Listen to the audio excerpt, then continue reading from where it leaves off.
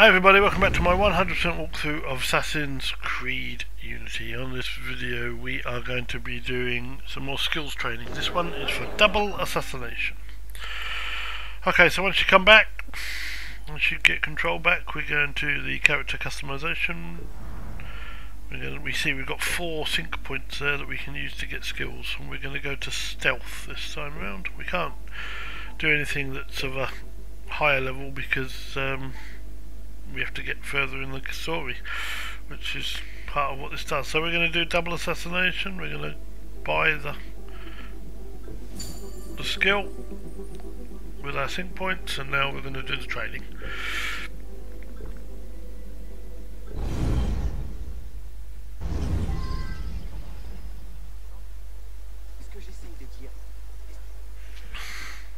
There we go. So to start off with, just walk up to these two guards, make sure they're both highlighted red, and then attack. And that's a double assassination. You've a knack for this. Right this Okay. way. So that's part of it.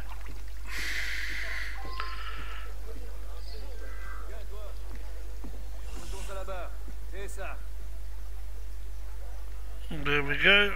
We now go to run at these two and high profile double assassinate. But again, make sure they're red.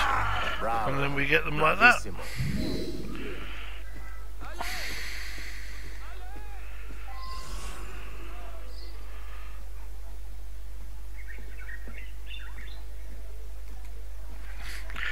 And now we're going to wait for these guys to come together.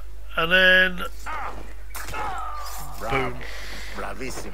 we got one more thing to do. We've got a com- a couple who are moving around together and a couple who are stationary. We've got to finish off the rest of them with double assassinations. So there's the two that are going around now. We mustn't be seen.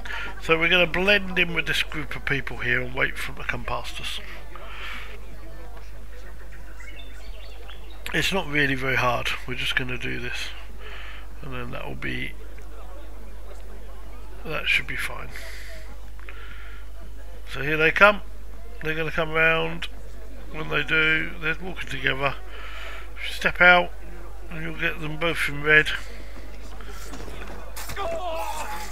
And as soon as you've done that, just move around here slightly. Approach these two from the back. And another double is there. And that's it. That's where we're going to end this video. So thank you very much for watching. Don't forget to like and subscribe. And until next time, it's bye for now.